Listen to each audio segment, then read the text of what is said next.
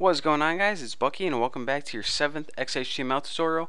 In this tutorial, what we're going to be learning how to do is create a link within the same page.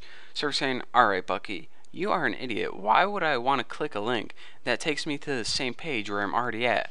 Why can't I just hit refresh if I was just going to do that? Well, this is helpful for one main reason. If you have a really long website and you don't want to you don't want to have the user scroll down looking for whatever piece of information they need on that website. You can create something like a table of contents or a directory at the top and then they click whatever information they want and it just shoots them down to whatever they were looking for. So before this tutorial what I did is I went and grabbed a bunch of random information. This is actually the rules from my forum. If you ever get a chance, check it out, thenewboston.com slash forum.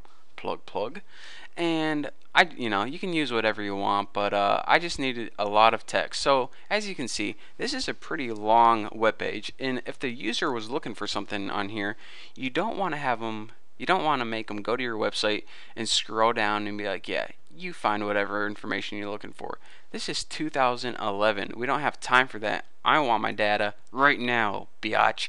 So let's go ahead and create a navigation system where it makes it easier for the user.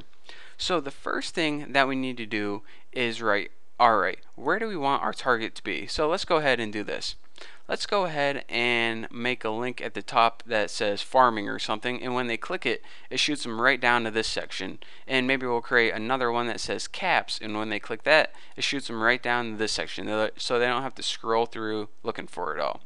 So in order to link to this section of our web page, we need to create a target, a way of saying this is where I want to link. So in order to do that, go in your code where it says post count farming and go ahead and add your anchors.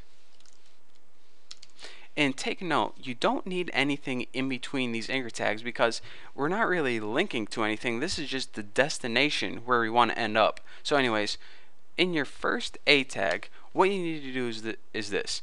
You need a name for your target. That way, if you have a bunch of different targets on your web page, your browser knows what one you're talking about. So instead of href like before, this attribute is called name and set this equal to whatever name you want. I'm just going to name mine farm because I mean this is a section about post count farming so why not name it farm simple enough so go ahead and write a name equals farm.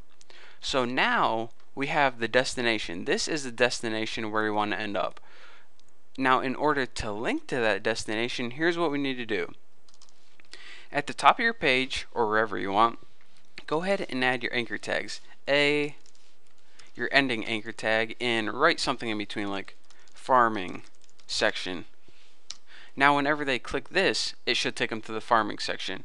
But in order to link to this section, you need to do something weird. Remember that href attribute that took you, you know, to other pages like Google or something?